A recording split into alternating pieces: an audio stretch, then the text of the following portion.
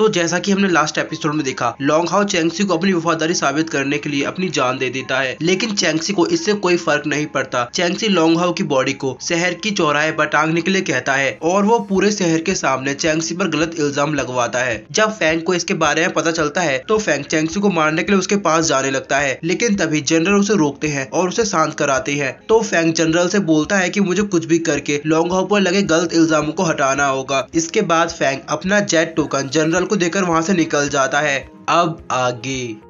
Episode की starting में हम मिस जोई को देखते हैं, जो कि किसी को एक लेटर लिख रही थी। तभी बाहर से टैंक भागते हुए उसके पास आता है और वो उसे कहता है कि तुम यहाँ क्या कर रही हो? देखो, मैं तुम्हारे लिए कितनी सुंदर चीज़ लेकर आया हूँ। टैंक के हाथों में एक मुर्गा होता है। टैंक बोलता है की ये मुर्गा कॉक फाइट का विनर है। टैंक मिस जोई से पूछता है की तुम ये क्या कर रही हो? तो मिस जोई बताती है की ये वो होमवर्क है, जिसे मास्टर टैनयू ने आपको करने के लिए दिया था, लेकिन आपने अभी तक इसकी शुरुआत भी नहीं की। तो चैंगसी मिस जोई से बोलता है की ठीक है, तुम इसे कंप्लीट करो। तब तक मैं और कॉक फाइट देखने जा रहा हूँ। तो मिस जोई बोलती है कि, मास्टर टैन यू आपका काम चेक करने कभी भी आ सकते हैं। लेकिन टैन को इससे कोई फ़र्क नहीं पड़ता। टैंग अभी भी बाहर जा रहा था, लेकिन तभी अचानक सिटी की सिक्योरिटी बेल बजने लगती है। ये सुनकर टैन बोलता है कि, शायद किसी चोर ने हमारी सिटी पर अटैक किया है। तभी मिस जोई अपने ब्रश को नीचे रख देती है और वो रूम से बाहर देखती है। मिस जोई सिटी के गेट को देखते हुए काफ़ी ज़्यादा सीरियस होती है। उनको देखकर टैन भी डरने लगता है। वो बोलता है कि, आखिर आज इसको क्या हो गया? ये इतनी डरावनी क्यों लग रही है? इसके बाद हमारा व्यू शिफ्ट होता है और हम देखते हैं कि फैंग सभी लोगों के बीच से निकलते हुए आगे जा रहा था। फैंग ने अपने चेहरे को कवर कर रखा था। उसको देखकर सभी लोग सोचते हैं कि आखिर ये कौन है जिसने अपने चेहरे को कवर करके रखा है। इसके बाद हमें कुछ टाइम पहले का सीन दिखाया जाता है। फैंग एक मास्क बनाने वाले आदमी की दुकान पर जाता है, जहाँ वो उस आदमी को कुछ रुपए देता है और उससे कहता है कि मुझे तुम्हारा एक मास्क चाहिए। तो वो आदमी कहता है कि आप कोई भी मास्क ले सकते हैं। फैंग उन सारे मास्क को देखता है और तभी उसकी नज़र एक नए बने हुए मास्क पर जाती है।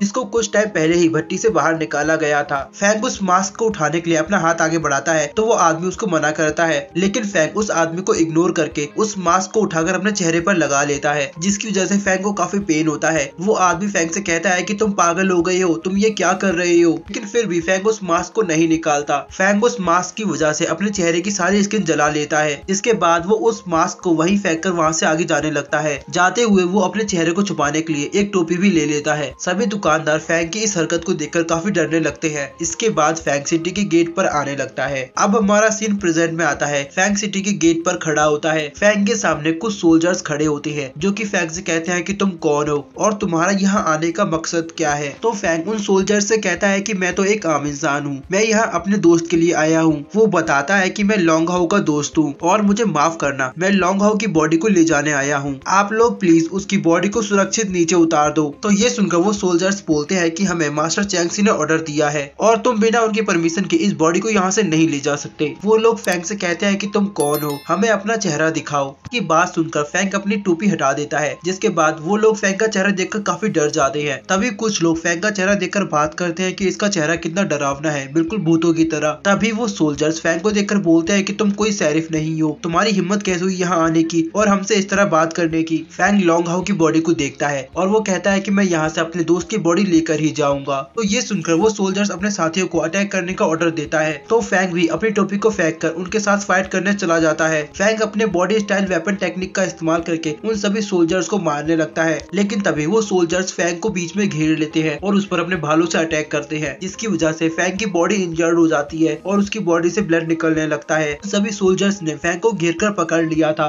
लेकिन तभी हम देखते हैं कि फैंग के हाथ का ब्रेसलेट चमकने लगता है, जिससे फैंग की बॉडी में फिर से एनर्जी आ जाती है। फैंग दोबारा अपनी बॉडी स्टाइल वेपन टेक्निक का इस्तेमाल करके उन सभी सोल्जर्स को मारने लगता है। लेकिन तभी वो सोल्जर्स दोबारा से फैंग को घेरने की कोशिश करते हैं और उस पर चारों ओर से अटैक करते हैं। लेकिन तभी फैंग अपने डिफेंस फर्नेस का इस्तेमाल करता है और वो उन सभी के अटैक को ब्लॉक कर देता है। सभी सोल्जर्स फैंग पर अटैक करने के लिए उसके पास आ रहे थे, लेकिन तभी हम देखते हैं कि एक व्यक्ति होता है जो कि फैंग से दूर जा रहा था। फैंग उसको देखता है तो उसे वहाँ पर लॉन्ग हाउ दिखाई देता है। लॉन्ग हाउ एक बार मुड़कर फैंग को देखता है। इसके बाद हम देखते देखते हैं कि लॉन्ग हाउ की बॉडी अभी भी टंगी हुई थी और अभी हमने देखा वो फैंग की इमेजिनेशन थी। लॉन्ग हाउ को जाता हुआ देखकर फैंग को और भी ज़्यादा गुस्सा आता है और वो अपनी फुल स्ट्रेंथ में डिफेंस फर्नेस का इस्तेमाल करता है, जिससे धीरे धीरे करके उसके डिफेंस फर्नेस का साइज़ बढ़ता जा रहा था और सभी सोल्जर्स मिलकर भी उसे नहीं रोक पाते। फैंग उन सभी सोल्जर्स को दूर ढकेल देता है। फैंग लॉन्ग हाउ को याद करता है और वो कहता है कि लॉन्ग हाउ ने जो भी किया, वो सब योंग चैन सिटी के लिए किया। उसने कभी भी किसी को धोखा नहीं दिया। इस पूरी सिटी में लॉन्ग हाउ से ज़्यादा वफादार कोई भी नहीं होगा। इसके बाद फैंग उन सभी सोल्जर्स पर गुस्से में अटैक करता है और कहता है कि तुम सभी लोगों ने उस पर गलत इल्ज़ाम लगाए हैं। फैंग उन सोल्जर्स के साथ फाइट करते हुए उन्हें लॉन्ग हाउ के बारे में बताता है कि लॉन्ग हाउ कभी भी अपने वादे को नहीं तोड़ता। फैंग हर किसी की रिस्पेक्ट करता है और उसने अपनी वफादारी साबित करने के लिए अपनी लाइफ को भी सेक्रीफाइस कर दिया। बताओ, क्या तुम में से कोई भी ऐसा कर सकता है? नहीं कर सकता। यहाँ पर मौजूद कोई भी व्यक्ति ऐसा बिल्कुल नहीं कर सकता। तुम लोगों को बस दूसरों पर इल्ज़ाम लगाने आते हैं। फैंग गुस्से में उन सभी सोल्जर्स को मारता हुआ जा रहा था। फैंग ने वहाँ मौजूद। 90 परसेंट सोल्जर्स को मार मार कर बहुत ही ज़्यादा इंजर्ड कर दिया था। और जो बचे हुए सोल्जर्स थे, वो फैंग को गुस्से में देखकर ही डर जाते हैं और वो फैंग से लड़ने के लिए आगे नहीं आते। फैंग की बातें सुनकर वहाँ खड़े लोग भी लॉन्गफू के बारे में बोलने लगते हैं कि हाँ वो व्यक्ति ऐसा नहीं कर सकता, वो बहुत ही अच्छा था। अब वो सभी लोग फैंग की तरफ़ से लॉन्ग हाउ के बारे में अच्छी बातें करने लगते हैं और तभी हम देखते हैं कि सिटी के गेट के ऊपर से दो लोग फैंग को देखते हैं और इसी के साथ हमारा आज का ये एपिसोड यही एंड हो जाता है।